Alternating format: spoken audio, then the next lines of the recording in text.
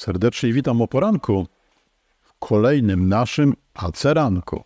W dobie takiego dziwnego czasu, kiedy to chrześcijanie boją się, lękają się swoim własnym imieniem i nazwiskiem zaświadczyć, że należą do Chrystusa, czy to w pracy, czy to na ulicy, czy to w rodzinie, czy to w urzędzie, warto sobie przypomnieć pewien fragment Słowa Bożego.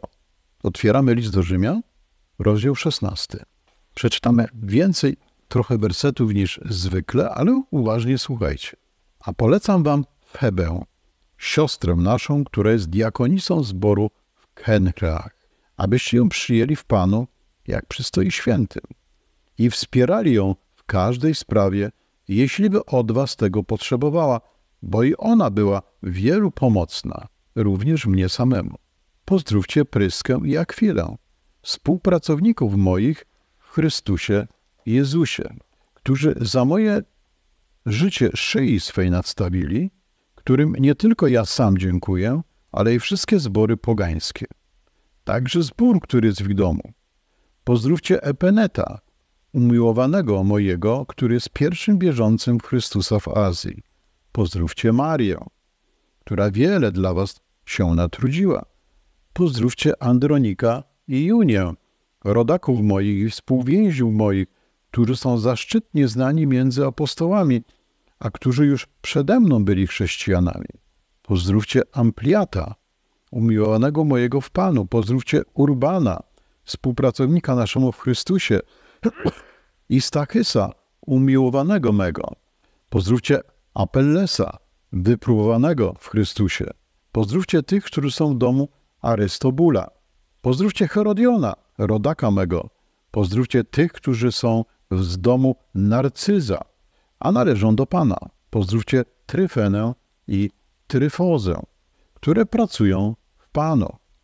Pozdrówcie Persydę umiłowaną, która wiele pracowała w Panu. Pozdrówcie Rufa, wybranego w Panu i matkę jego i moją. Pozdrówcie Ancykryta, Flegonta, Hermesa, Patrobę, Hermasa i braci, którzy są z nimi.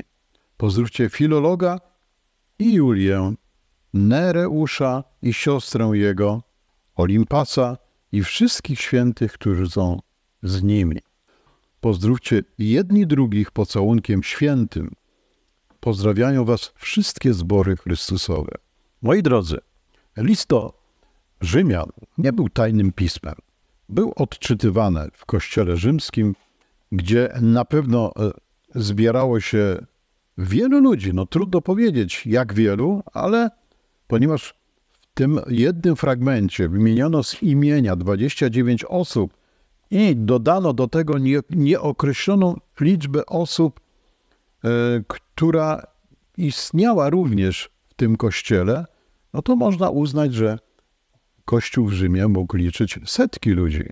A więc setki ludzi usłyszały list i setki ludzi usłyszały każdy z tych imion. I setki ludzi o tym rozmawiały. Ludzie wynieśli to na zewnątrz również.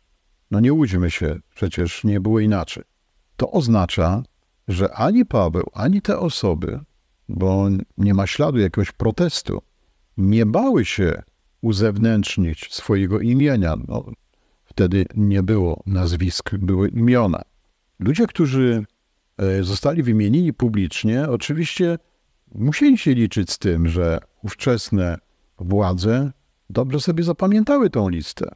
I zapewne przynajmniej część z tych ludzi zapłaciła życiem za e, swoją wiarę w Chrystusa wtedy, kiedy w Rzymie rozpoczęły się prześladowania.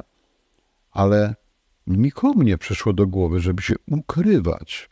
No właśnie, rozmawiałem z pewnymi ludźmi, mężczyźni, no powiedzmy, że mężczyźni, o, wierzący, to jest, to jest, o, to jest dopiero dobre, wierzący.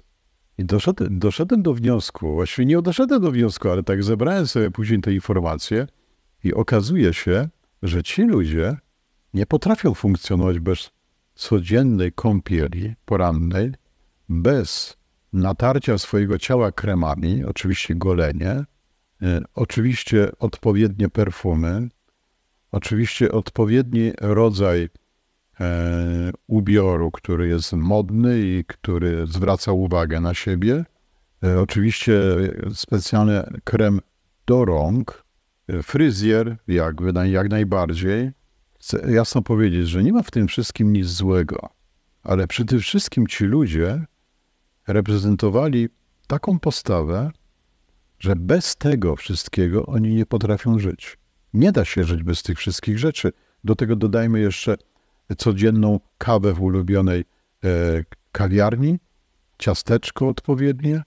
No i są jeszcze inne rzeczy, o których już nie będę wspominał. Ci ludzie ani myślą o Kościele. Oni oczywiście są wierzący. To znaczy, oni wierzą, że wierzą. Natomiast oni nic wspólnego z Chrystusem nie mają, aczkolwiek gdybyś im to powiedział wprost, no to by cię potrafili nawet tymi paluszkami odpowiednio potraktować. Co to w ogóle za pokolenie wyrosło? Ale ono nie wyrosło samo z siebie. Ktoś to pokolenie tak wychował. Pomijając domy rodzinne, jak najbardziej domy, ponieważ już widzimy od dłuższego czasu, że to kobiety rządzą w domach. I to jest karygodne, żeby było jasne. To jest karygodne, bo kobiety rządząc w domach wychowują też synów i wychowują ich jak kobiety.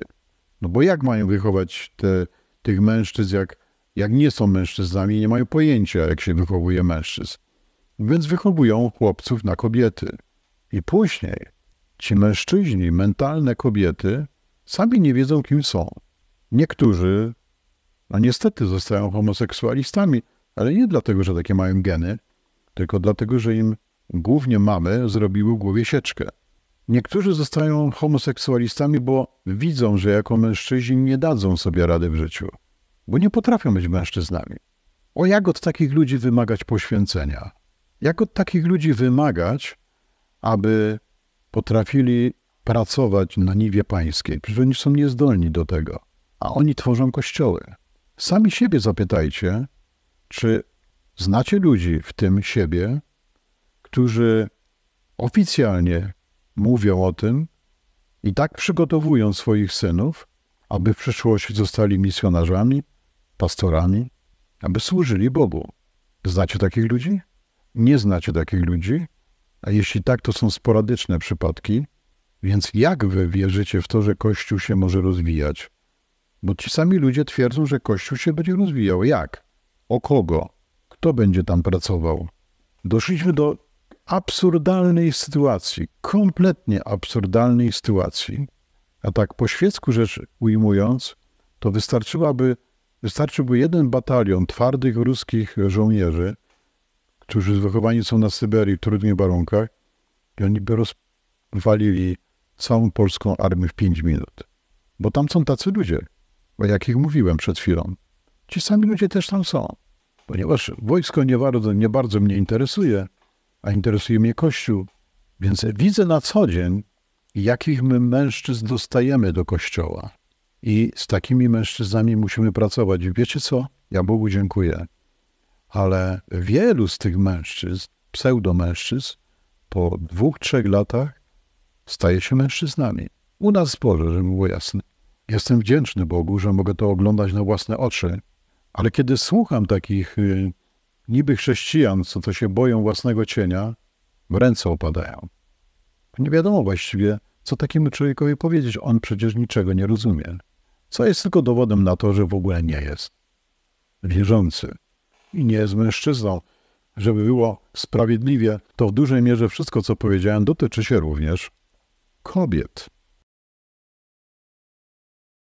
Witam w Aceranku, a wszystko po to, aby zachęcić Was, żebyście w ramach chrześcijańskiej wspólnoty ewangelicznej przyjrzeli się też innym podcastom. Tam naprawdę można znaleźć fantastyczne treści i posłuchać naprawdę dobrych kaznodziejów. Droga uczniostwa, lajkujcie, subskrybujcie, komentujcie, niech się rozchodzi.